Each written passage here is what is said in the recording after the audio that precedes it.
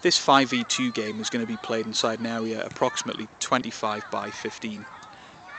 The five blue players will look to possess the ball with the objective of the fifth player receiving it in the small box in the centre of the area.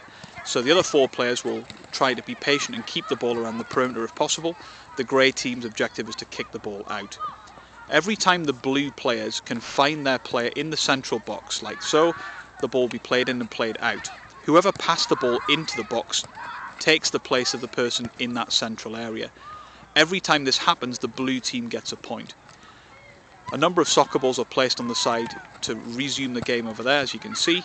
So every time the ball goes out, we'll resume from the same spot over there. The first pass can be free or not, depending on how you want to do it as a coach. Every time the grey team manages to knock a ball out, that's a point for them. Every time the blue team manages to find their player in the central box and successfully play back out to another blue player, that scores them a point. So the objective for blue is can they get to, say, six points before the grey team could knock the ball out six times.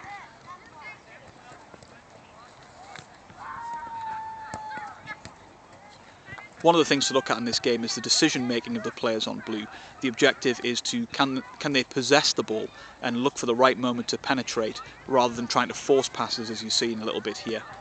If the pass isn't there into the central player, they should look to just keep the ball and be patient rather than trying to play a pass that isn't there.